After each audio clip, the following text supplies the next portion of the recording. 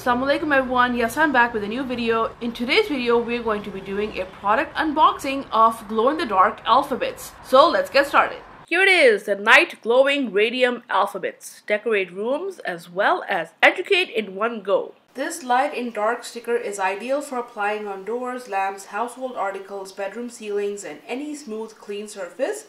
It absorbs light and glows in darkness. This is made up of high quality PVC vinyl, non-toxic, eco-friendly, waterproof and durable material. So this is what it looks like under normal lights. How do you spell fun? With these glow-in-the-dark letters, of course. Now each glow-in-the-dark letter is rechargeable and acts like a reusable glow stick. With zero batteries, bulbs, or liquids, the glow-in-the-dark letters can be charged time and time again simply exposed to any light source, the longer the brighter, including the sun, lamp, overhead lights, flashlights, UV lights, etc. And the glow-in-the-dark letters will provide hours of low light illumination. Once the glow-in-the-dark letters begin to lose their shine, simply give them a quick boost from any light source and they will be good to glow for hours.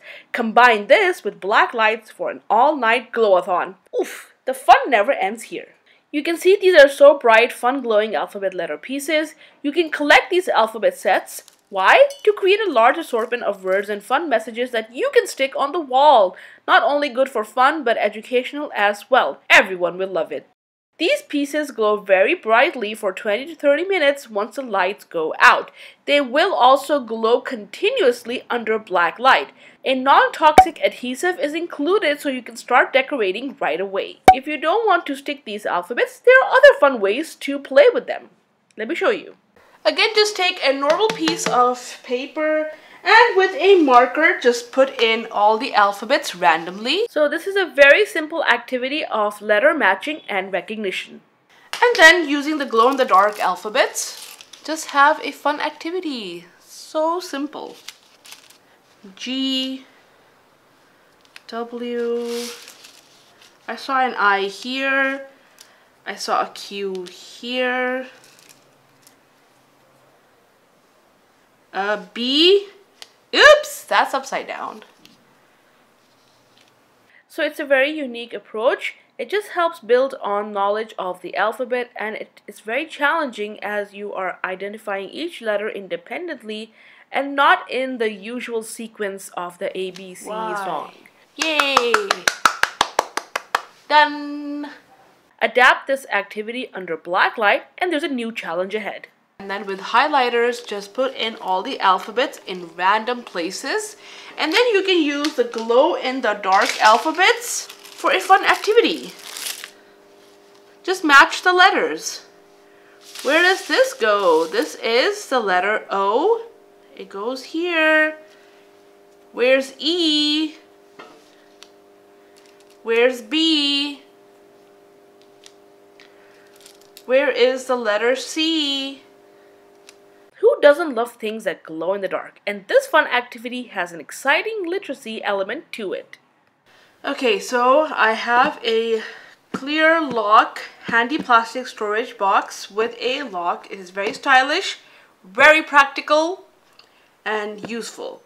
Because this is the large one, 10 liters capacity. You can get the smaller one as well. Make sure it has these locks so you can always put away the sensory play and then use it for later. It just makes life a lot easier. It's transparent. It's stackable if you get if you choose to make a lot of sensory boxes. So now in this you fill it with whatever abundant thing you have.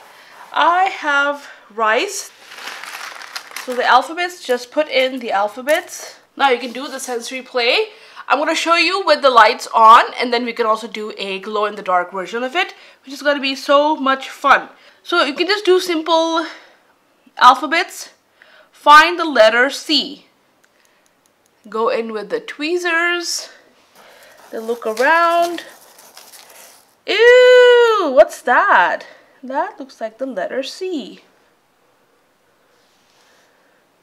And then let's do the glow-in-the-dark version of this. Why the tweezers? To help build fine motor skills, Use the tweezers to sift through the rice and locate each letter. It's a good way to pace the speed at which each letter is discovered. If you use your hands, you would more likely uncover multiple letters, which could be quite distracting and take away from the learning purpose. Okay, we are done with our sensory play. It's always advisable to have containers with locks and with a lid so you can always store it properly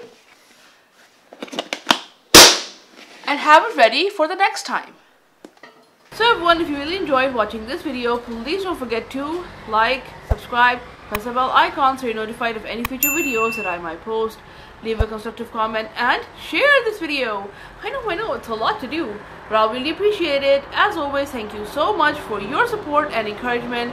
Thanks for watching. Until next time, Allah Hafiz. Bye. Jazakallah khair, thank you so much for watching till the end of this video. If you want to watch similar videos, please check out the playlist right here. Check it out.